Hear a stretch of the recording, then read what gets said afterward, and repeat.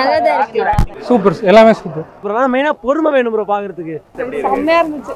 நல்லா நல்லா இருந்துச்சு. நல்லா இருக்கு ப்ரோ நல்லா இருக்கு. சூப்பரா இருந்துச்சு ஃபீல் குட் மூவி அது நான் எங்க ஊர் சைடு நிறைய வந்ததுனால எனக்கு கொஞ்சம் கனெக்ட் ஆச்சு. கார்த்தி அரவிந்த் சாமி போர்ஷன்லாம் சூப்பரா இருந்துச்சு. லேக் இல்லை ப்ரோ யாரும் சீட்டை விட்டு எந்திரிக்கல ப்ரோ டைட்டில் கார்டு வர வரைக்கும். ஆனால் ஓகே ப்ரோ ஆல்மோஸ்ட் ஒரு நைன்டி சிக்ஸ் அளவுல ஆனால் ஓகே நல்லா தான் ப்ரோ இருக்கு. ஆனால் கொஞ்சம் பொறுமையாக பாருங்க.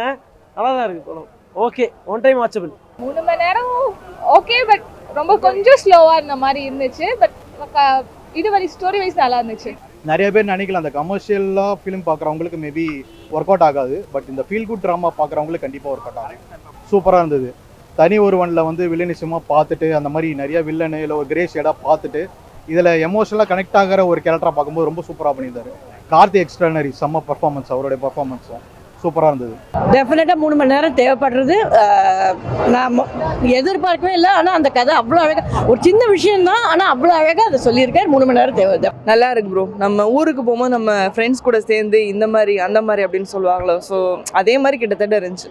நம்ம ஃபேமிலியோட உட்காந்து அப்படியே அந்த ஃபேமிலி ஃபேமிலியாகவே உள்ளே போயிட்டோன்ற மாதிரி இருந்துச்சு படம். நல்லா தான் இருக்கு. ஃபுல்லாவே த்ரீ சிக்ஸ்டி தான் அப்படின்றத மெய்யழகன் வந்து நிரு- நிரூபிச்சு காட்டிட்டாரு. ஓகேவா கண்டென்ட் மட்டும் சொன்னா உணர்ச்சிக்கும் உணர்வுக்கும் சம்பந்தப்பட்ட ஒரே படம் மெய்யழகன். செம்ம அரவிந்த் சாமி அண்ட் கார்த்திக் ரெண்டு பேருமே சூப்பராக பண்ணியிருக்காங்க. ரொம்ப நல்லா மேட்ச் பண்ணியிருக்காங்க கெமிஸ்ட்ரி நல்லா இருக்குது அந்த ஒரு சின்ன விஷயம்தான் அதான் அது அவ்வளோ அழகாக மூணு மணி நேரம் சொல்ல முடியும்னு என்ன எதிர்பார்க்கல. நான் எதிர்பார்த்ததுக்கு மேலேயே ரொம்ப நல்லா இருந்தது. வருத்தப்படாத வாலிபர் சங்கத்துக்கு அப்புறமா இந்த மாதிரி ஒரு கெட்டப்ல ஸ்ரீதேவா பாக்குறோம் ஸ்ரீதேவியோட பெர்ஃபார்மன்ஸ் எப்படி இருக்கு? நல்லா இருந்தது. பட் இவங்க ரெண்டு பேரும் தான் மெயினாக படத்துல இது கொஞ்சம் பெட்டரா இருந்திருக்கலாமே என்ன சொல்றீங்க? இல்லை வேற ஒன்றுமே இல்லை.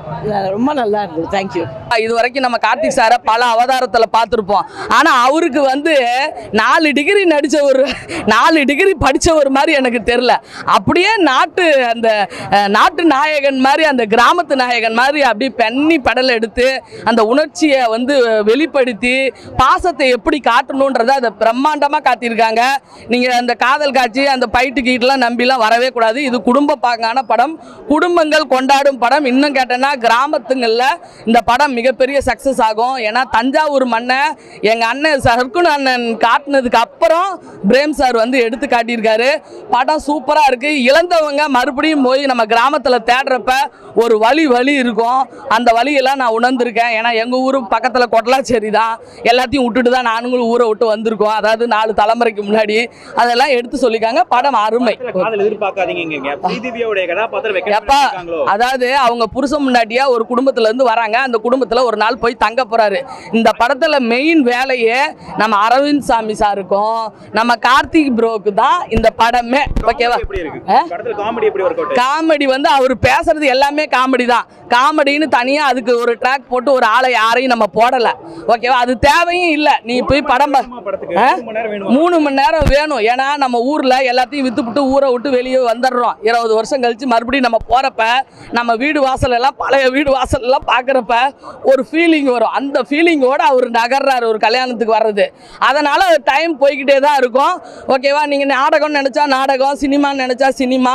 ஓகேவா குடும்பம் நினைச்சா குடும்பம். ஓகே ஆல் த பெஸ்ட் படம் வந்து கண்டிப்பாக சூர்யா சாருக்கும் ஜோதிகா மேடத்துக்கும் நான் ஒரு ரெக்வஸ்ட் வைக்கிறேன். கிராமங்களில் இந்த படத்தை வெளியிடுங்க. படத்தை வந்து டொ- கம்மி பண்ணி நம்ம எப்படி சாமானியன் வந்து நூற்றி பதினாறு நாள் ஓடுனுச்சோ மெய்யலகனை ஓட வைக்கணும். இது பட்ஜெட் படம் தான். அதனால் அந்த பட்ஜெட்டுக்கு ஏற்ற மாதிரி நீங்கள் விலையும் குறைச்சிங்கன்னா ஊரில் இருக்கிற எல்லாம் கிட்டத்தட்ட சுத்தப்பட்டு ஐம்பத்தஞ்சு கிராமமும் பார்ப்பாங்க. எனக்கு நல்லா தெரியும். ஓகேங்களா? நன்றி.